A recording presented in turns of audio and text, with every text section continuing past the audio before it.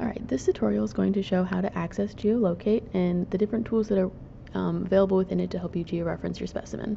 So we're going to start here on any specimen page and scroll down to this location section and hit edit right here in the top corner. It'll take you to this page um, and once you're here you can actually access geolocate in a couple of different ways.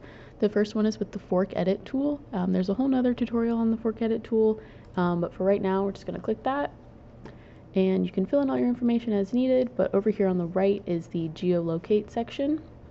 So once you click georeference with geolocate down here it will um, georeference based on your specific locality which I'm actually going to change. Line near Glencoe. Okay. You're going to click georeference and it will bring you to this map.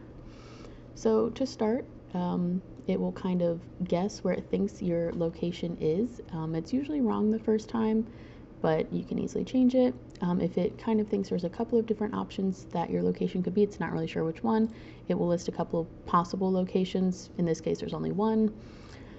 Um, and you can also change the base layer of your map if you want to see the satellite, or you can just see the streets. You can do a hybrid, whatever you prefer, depending on what you're um, looking for.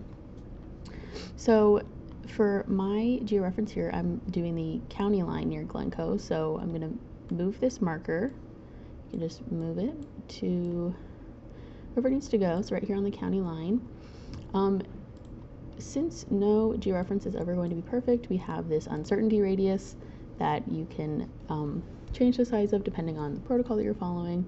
So once again, just click back at the marker, edit uncertainty, and you can move this however it needs to go. All right, and if you're looking at historical specimens, you can come over to this um, pane again and click Historical USGS Topo. This is a great tool. Um, you just click where you want to look for a map, and it will show all of the historical maps that are available for that area. So let's look at this one. You can change the opacity of it if you want to see more of the map, less of the map whatever. Um, so this map just kind of tells me that this boundary line or this county line has not changed um, since it the specimen was collected. So we can get rid of that. Um, there's also, you can place your own marker if you don't want to have to drag this one around. Just click that and then put one over there. Just drag that one back over there.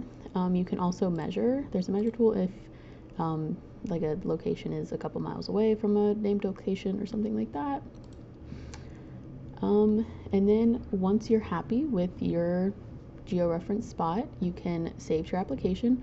You don't want to click georeference um, because that will start back over and it will georeference this spot again. It'll bring it back down to this incorrect um, spot right here.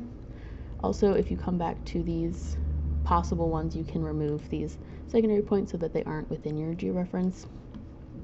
Okay, save to your application and it will say we've got all the latitude longitude down here. If at one at one point you realize you want to change the um, radius or anything like that you can click modify coordinates and this will bring you back to this georeference that you just did. It won't start over from the beginning. Also if you're you want to get rid of the georeference you um, can just click D georeference and it'll just get rid of all of this and the specimen won't be attached to any location all right, and then when you're finished with that, come down here, a couple options here, and then just click Save Changes.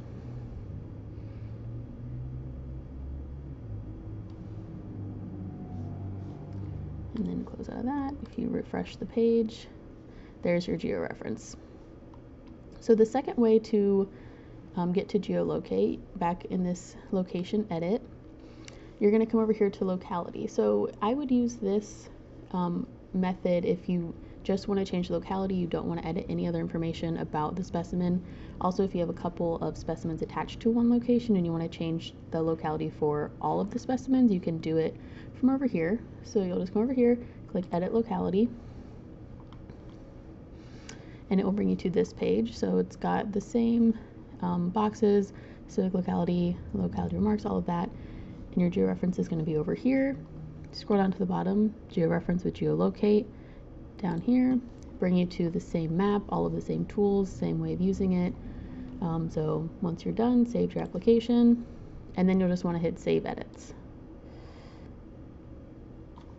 And then go back, refresh, and your new geo georeference will be right here.